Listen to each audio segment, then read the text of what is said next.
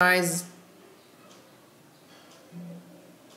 Welcome back to all in law.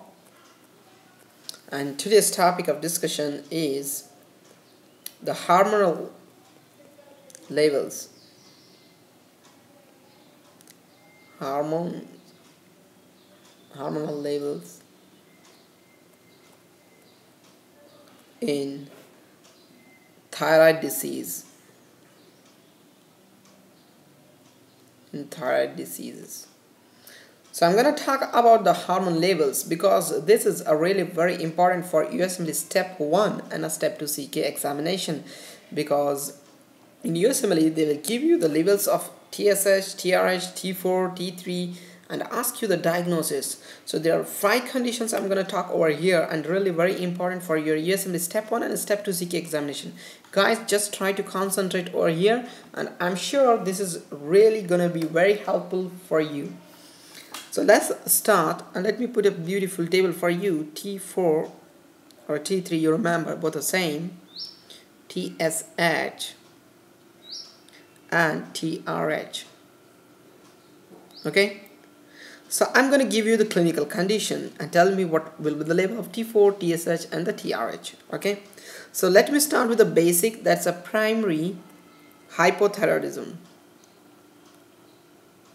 Very important guys for hypothyroidism. Okay. Tell me what will be the T4 level, what will be the TSH and what will be the TRH levels. Let me start with the T4. Tell me it's a low, right? Very simple. What about the TSH? Raised right? And what about the TRH it's raised right? Yes so very simple.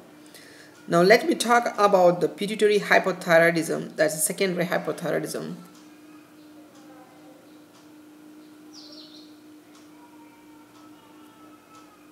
Hypothyroidism secondary hypothyroidism or a pituitary. Tell me what will be the level of T4 it's a low remember and what will be the level TSH is also low because the pituitaries are are not working. That's why TSH level will be low because TSH is not uh, released from the pituitary so it doesn't act on the thyroid and doesn't release the T4 that's why T4 will be low TSH will be low right? What about the TRH it's raised right? Because it's secreted from whom the hypothalamus. Is working. Right. Then we have tertiary hypothyroidism tertiary hypothyroidism what do you see? It's a low. It's a low. And it's also low. Why? Because tertiary hypothyroidism is nothing but there's a defect in the hypothalamus. That's why the TRH will be low when the TRH is low there's no stimulation to the pituitary. When there is a no stimulation to the pituitary no stimulation to the uh, thyroid gland so the hormones level will be low. Right? Let's talk about the pituitary hyperthyroidism or a secondary hyperthyroidism. You know very well what's a primary hyperthyroidism is nothing but level increase in the T4, right? TSH will be low, right? TRH will be more. So let's see over here secondary hyperthyroidism. The T4 level will be, tell me, raised, right?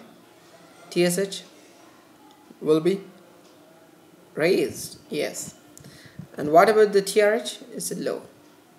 Secondary hyperthyroidism. The other important disease that you should remember is autoimmune disease that is a Graves disease.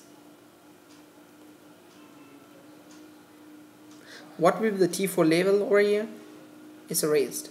TSH is a low and TRH is low. So very important clinical findings. Try to memorize this. This is really very important for USMLE step 1 and step 2 CK examination. Guys, very very important table. Thank you so much for watching this video. I hope this video is very helpful. Please thumb up and please do share our videos by sending the link or putting the link or posting the link in your Facebook. Thank you so much. Take care.